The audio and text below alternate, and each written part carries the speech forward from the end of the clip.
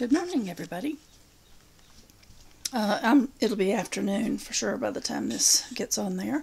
But with all the doom and gloom out there so often these days, um, and bad times are coming, but it's not all sorrowful.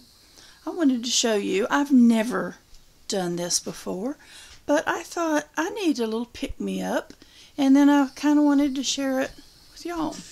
It may be silly, and that's okay. If it helps makes anybody feel better, and this makes me feel better, I decorated. This is a tree that I keep out here on my porch. Um, and of course, it's a Christmas tree that I decorate for Christmas. And I thought, all right, I'm going to decorate it. So, I've done my spring slash summer decorating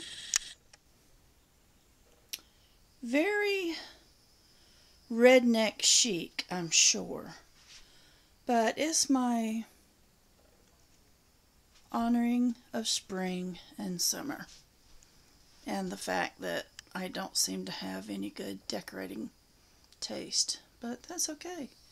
It pleases me, and it's it, the ch- the cheese seemed to like it. And frankly, I'm tired of my little projects that I'm working on, so I'm taking a little bit of time off. But I decided to, I decorated, this is Abby's little eating area. I decorated her little tree that I homemade did. And of course I had to put some, those are trout. Had to put some trout on her tree.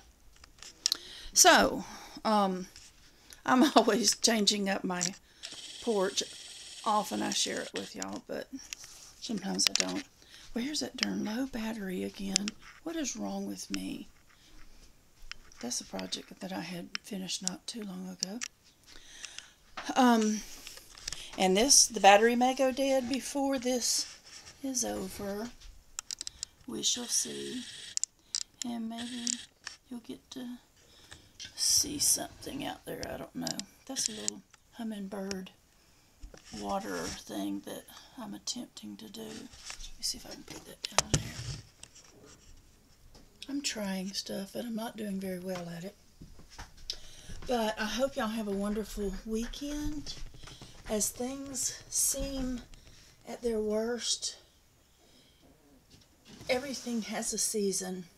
I mean, it really does. I want to read this to you in Matthew 11, 28, 29, and 30. Come unto me, all ye that are that labor and are heavy laden, and I will give you rest. Take my yoke upon you, and learn of me, for I am meek and lowly in heart, and ye shall find rest unto your souls. For my yoke is easy, and my burden is light.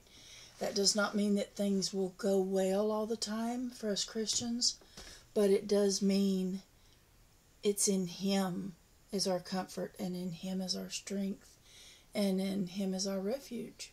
So take some comfort. If you don't know Jesus as your Lord and Savior, I hope one day you will. But that's your choice. I never, I would never dream of forcing or even attempting to force that on anybody. Y'all be blessed. Take care. Love you guys. Thanks for watching.